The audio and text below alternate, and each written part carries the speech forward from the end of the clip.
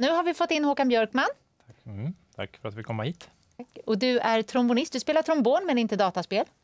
Så kan man faktiskt sammanfatta det. Jag spelar mest trombon och väldigt lite datorspel. Ja. Men eh, det var en väldigt kul konsert att få göra det här. Ja. Och eh, det som jag måste säga, det jag är mest imponerad av, det var publiken. Hur den interagerade med musiken och hur eh, engagerad och fokuserad den var. Ja, hur skiljer det sig från när du spelar på en vanlig konsert? Och det var det att nu har ju alla kommit dit för alla är extremt intresserade av det här och är väldigt pålästa och igenkänningsfaktorn är hög bland publiken så att det är många som suckar av vällust och glädje när de, åh nu kommer den musiken, åh, och en del nästan gråter faktiskt med tårar och så. Så det, det är på riktigt. Och du menar att det händer inte annars? Absolut, men det är en väldigt är en större blandning på publiken. Här var det verkligen en, en koncentrerad och inriktad publik och det märktes så tillvida att den var väldigt tyst. det var väldigt lite hostningar. Jag kommer inte komma ihåg att vi hörde en enda hostning. Det spelar väl ingen roll. Det, det får ju vara välkommet när det kommer. Men det var, det var påtagligt koncentration i eh, publiken, vilket påverkade oss positivt. Mm. Jag måste bara flika in att jag tycker det är fantastiskt kul att orkestrar idag spelar, eller så ni som brukar spela klassisk musik, idag spelar spelmusik. När spelmusiken eh, för 35-40 år sedan som du sa gjorde precis tvärtom. Där man liksom använde klassiska verk därför att man inte kunde komma på någonting annat. Mm. Jag har en otrolig berättelse från en eh, tjej som jag intervjuade som eh, växte upp i början på 80-talet med en pappa som hade alla Commodore-datorer för han jobbade med Commodore. Så hon satt och spelade ett spel med sin bror som heter Clowns, där man är två clowner som hoppar på en vippbräda. När clownen missar och man dör så spelas en liten trudelutt som går så här. Nu ska jag sjunga. Dum, dum, dum, dum, dum, dum, dum, dum, dum, dum. Och sen blir hon, eh, ja hon sysslar mycket med musik med datorer och blir musiklärare och förstår först senare att det där är Chopin, eh, begravningsmarschen eller något sånt där heter den på svenska. Så att det är liksom, det finns begrepp, det finns liksom eh, klassiska stycken som är stulna av spel för liksom hela generationer. Det, det, är häftigt. Ja. Men jag tänker på vad innebär det också för musikalisk utmaning för dig att spela den här musiken? Vi är ju stämningsbärare. Vi har ett ansvar att verkligen få fram det som är tänkt att, att eh, det ska gestalta i musiken. Eh, det finns ju många motiv som man kan bygga upp av lager så här. Så en, en viss skirhet kan ju finnas om det är kanske en solofiol som spelar ihop med en första oboe till exempel. Och sen byggs det på ett lager till, att det kommer in träblås, kanske valthorn. Sen lägger man på lite slagverk och sen kulminerar det med tutti, alltså när allihopa spelar och mm. man lägger in trumpet, trombontuba och det blir ett fullt ställ på slutet och då förstår man att nu är adrenalinet på topp. Och då, ja, då Men är det komplicerat liksom rent musikaliskt för dig som musiker att ta dig an den här musiken? Ja, vi gjorde den här Megaman Suite, den kommer jag ihåg att den var väldigt jobbigt vad gäller stamerna och eh, alltså påfrestningen att man spelar väldigt mycket starkt och eh, under en lång period. Det är inte så att man man presenterar sig och sen går man och, och lägger sig i skymundan, utan det var ganska påtagligt. Mm. Så du har mer att göra i de här konserterna än, än vanligt? Eller? Ja, eftersom det är, vi spelar då sviter och eh, så att säga sammantryckta eh, kompositioner som Andreas Hedlund har Holmlund förlåt, har gjort så fina arrangemang på. Har du mer att göra för att du är trombonist eller för att det är allmänheten mer att göra Tänkte för alla? Tänkte säga det, för det är mycket ja. brass va? Ja, men det är ju det. Vi har väl då, när det är lite blod och hemskheter så brukar vi få komma in. Eller när det är lite sorgligt spelar vi lite moll, svagt det där. Men oftast är det när de heroiska eh, insatserna kommer och då är det, då är det trombon och trumpet som, som, som lägger sig an den uppgiften.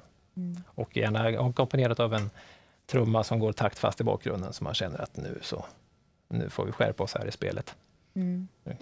Jag tänker på det här som vi var inne på med publiken och hur de rörs. Mm. För att eh, när jag går på ganska mycket klassiska konserter och där törs, man applåderar ju inte mellan satserna och man är mm. väldigt liksom... Eh, borde den klassiska musiken vara lite mer som spel, eh, gamerspubliken? Jag tycker att man ska få vara spontan, spontan som lyssnare, absolut. Det är ju för er vi spelar. Det är inte något eh, inbördes beundran. Och slå varandra på, dunka varandra på ryggarna. Så man kan brista ut i en applåd jag, när ens favoritsats kommer? Ja, jag tycker inte man ska skämmas om man nu känner för det. Mm. Absolut inte. Du kommer att spela i den konserten som vi ska mm. sätta oss och, och, få chansen att visa här nu. Mm. Har du något favoritstycke ja. i den? Det var ju väldigt mycket. Det var en ganska tjock mapp den veckan vad jag minns. Eh, så att, eh, det jag tyckte var roligt det var titlarna. Alltså, nästan nästan Bloodborne och sådär. Och Assassin's Creed och sådana saker. Det blir lite, då tänker man oj då, vad ska det här, vad, vad är det här för typ av musik? Men någon favoritstycke, det var väl, eh, jag tycker Megaman var väldigt kul och och spela. Sen var Zelda är fint. Väldigt vackert. Kommer ni spela The Secret of Monkey Island? Ja, den, den är med. Och den är lite reggae-betonat. Sådär. Ja, just det. Fantastiskt. Svårt att sitta still. Mm. Nu ska vi lyssna på detta och bege oss till Berwaldhallen och få konserten Score.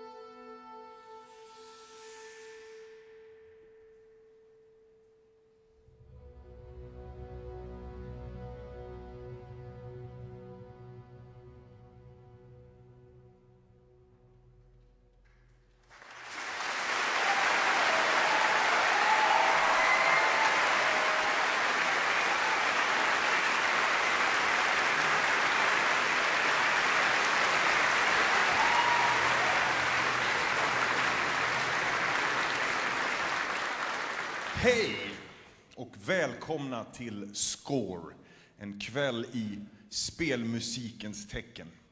Där vi kommer att ta er från genrens tidiga klassiker fram till dagens stora kompositörer.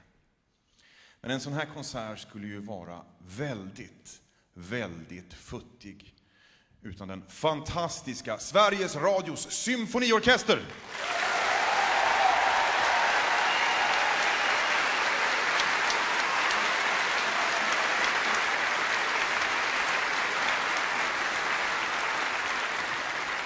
En stor applåd också för vår konsertmästare Ulrika Jansson.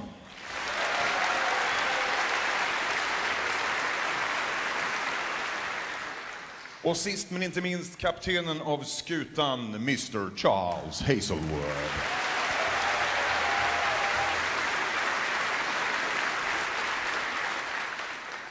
Det ni hörde här först, det var musik från ett fantastiskt litet spel som heter Journey komponerad av Austin Wintory. Sång till sluttexterna i spelet faktiskt. I was born for this, sjungen av vår underbara Sabina Zweiacker. Vi ska fortsätta med ett ganska nytt spel från en väldigt populär serie som många av er känner igen. Jag pratar om Assassin's Creed.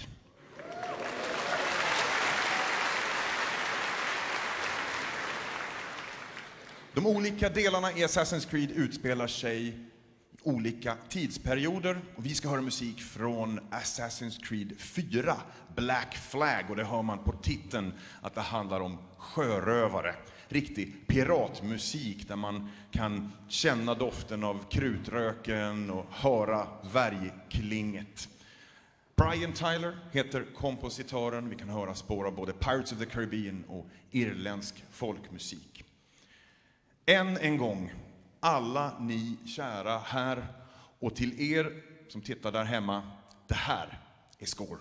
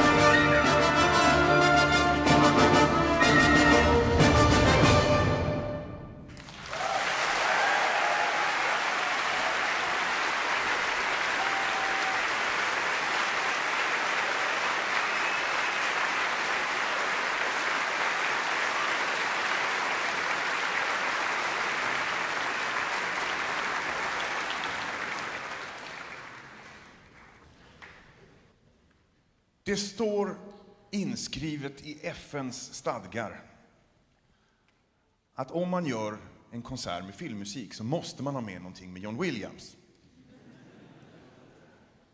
Och vi här på Score, vi har lyckats få ett tillägg till det här som säger att gör man en spelmusikkonsert då måste man ha med någonting av en försynt japansk herre vid namn Nobu Uematsu.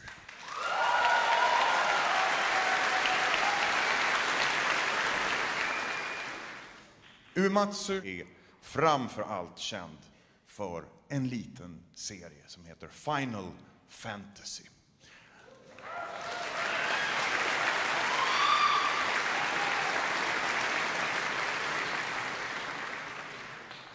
Och jag tror vi skulle bli sittande här till långt efter midnatt om vi skulle försöka komma överens om vilken del i Final Fantasy-serien som är bäst. Och ännu längre om vi skulle komma fram till vilket av soundtracksen som är bäst. Så därför har jag valt åt er. Efter de stora framgångarna, inte minst i väst, med Final Fantasy 7 och 8, så ehm, valde man att ta serien tillbaka till fantasin från den nästan science fiction-liknande känsla man hade glidit in i. Här fanns det fabeldjur, knasiga riddare och spännande äventyr. Och Umatsus musik följer med i detta med väldigt många beröringspunkter i den klassiska musiken. Det här råkar också vara Umatsus eget favoritsoundtrack från Final Fantasy-serien. Så det här, mina damer och herrar, det är Final Fantasy 9.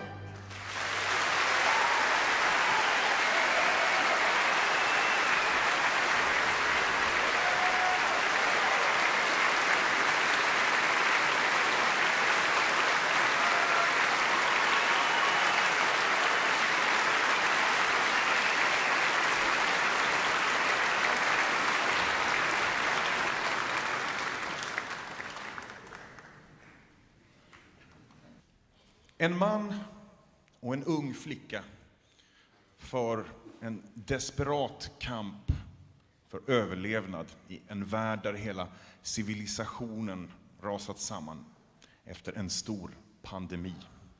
Det är handlingen i ett av de mest hyllade och uppmärksammade spelen på senare år. Musiken till den här mörka historien komponerad av Gustavo Santaolalla, tvåfaldigt Oscarbelönad för filmerna Brokeback Mountain och Babel. Spelet heter The Last of Us. Stycket ni ska höra, All Gone No Escape. Och vid cellon sitter Ulrika Edström.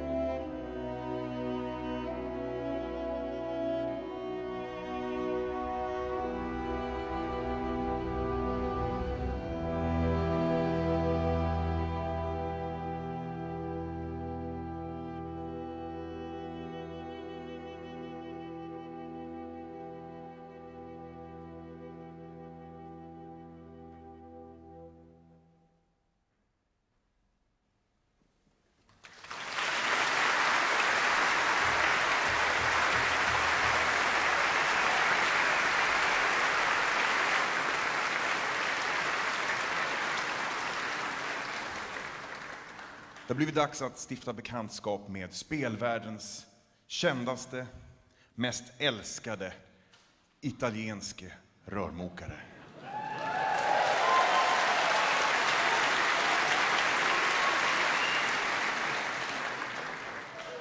Vår hyllning till Mario sträcker sig över hela serien. Vi börjar i Super Mario Brothers tar oss ända fram till eh, Super Mario Galaxy 2. Fast av musikaliska skäl så kastar vi alla 17 olika teman ni ska få höra om vartannat i en enda färggrann röra.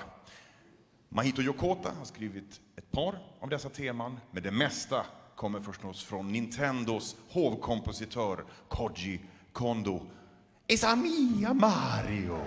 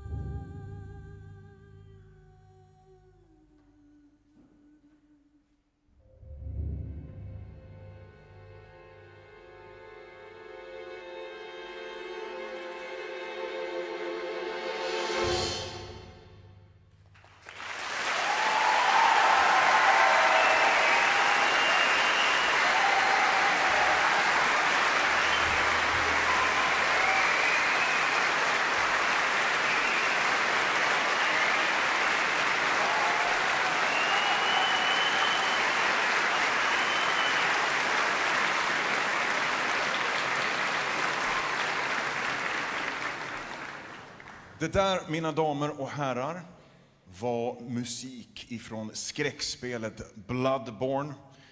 Komponerat av Ryan Amon. Och det här var musik som framfördes för allra första gången inför publik just här på Score i Berwaldhallen. En världspremiär för er alltså, med Sabina Zweiacker och Sveriges Radio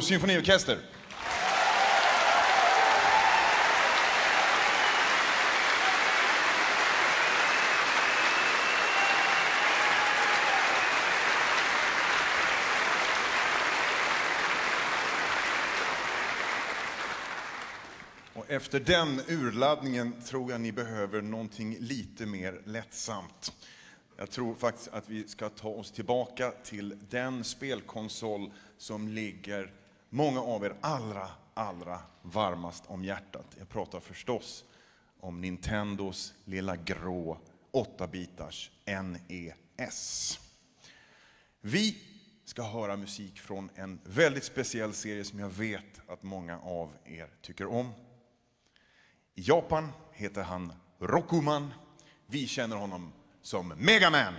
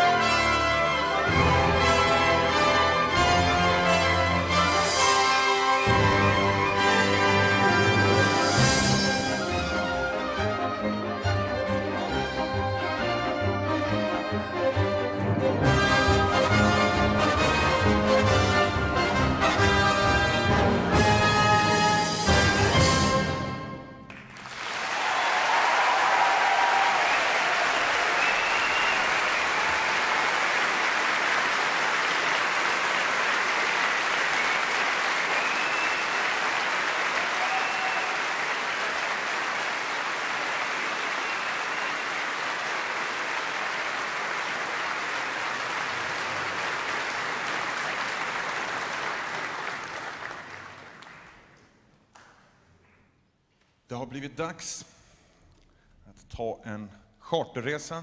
Är det någon som vill följa med till landet Hyrule?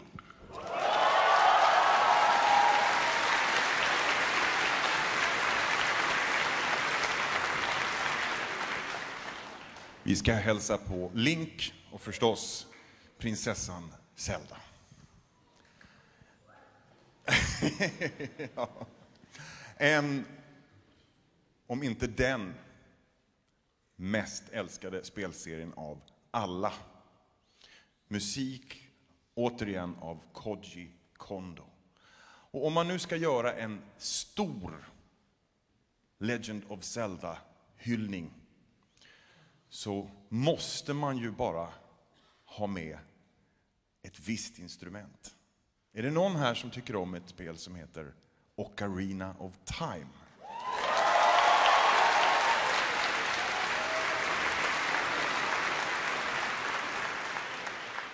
Det är ganska få symfoniorkestrar som har en anställd ocarina-spelare. Men flöjtist Julia Crowell har lärt sig spela ocarina bara för er skull.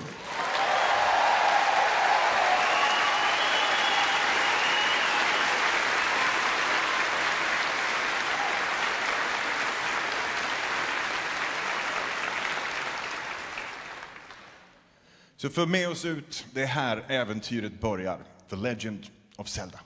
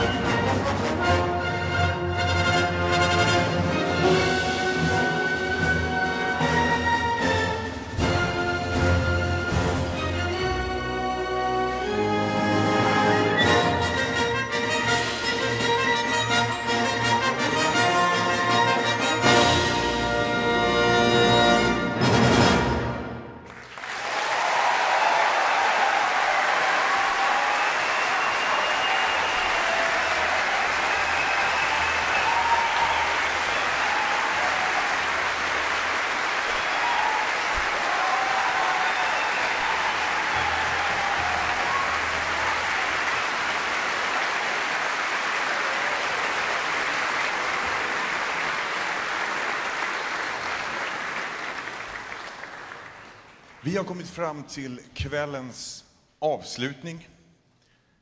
En serie som heter The Elder Scrolls och ett spel som heter Skyrim.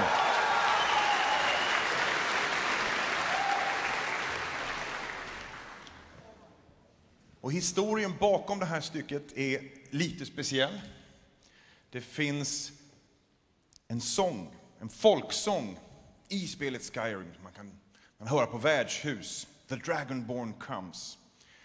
Och en mexikansk singer-songwriter-tjej som heter Maluka spelade in en egen version av den här sången med akustisk gitarr och en massa reverb framför en webbkamera och la ut på Youtube och blev ett enormt fenomen med miljoner och miljoner tittar. Så då tänkte vi så om man tar hennes version och väver samman med spelets huvudtema från soundtracket, orkestral musik av Jeremy Soule, då får vi en alldeles egen The Dragonborn Comes. Och det går ju bara inte att låta bli när man har en så makalös sångerska i sin produktion som Sabina Zwajaker.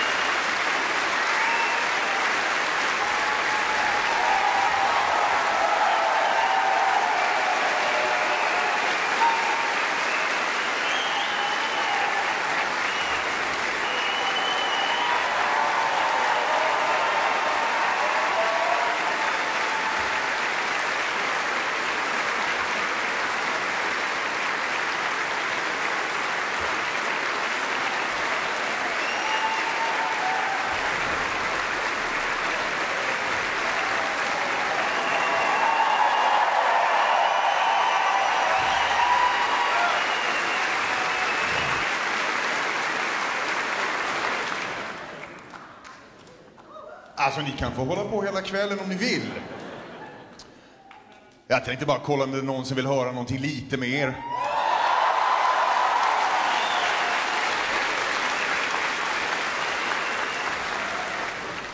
Om vi nu ändå har en orkester i världsklass, en dirigent i världsklass och en out of this world operasångerska med oss så kan vi ju inte låta bli och spela spelmusikens absolut största klassiker. Tack för att ni är så fantastiska. Av Nobu Uematsu från Final Fantasy 6. Det här är Arya Dimetsu Karatere.